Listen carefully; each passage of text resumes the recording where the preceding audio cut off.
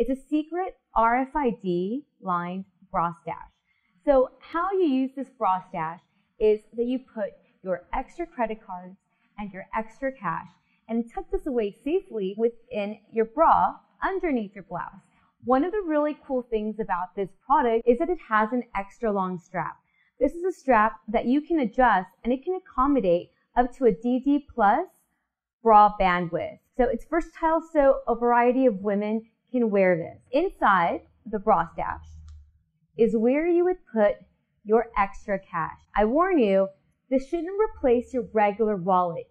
You should always have your daily cash in your wallet, whether in your purse or your day bag while you're sightseeing. So you don't have to go under your clothing every time you want to purchase something.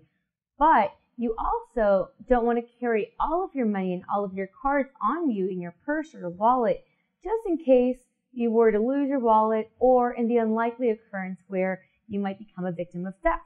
So this is a great way for you to store your, your valuables, things like your cash, your cards, your identification, I don't recommend that you walk around sightseeing with your passport.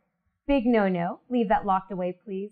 But always have some form of identification just in case. And I like to carry my own driver's license with me. I place it either on the strap of my bra, on the side of my band, or right in the front.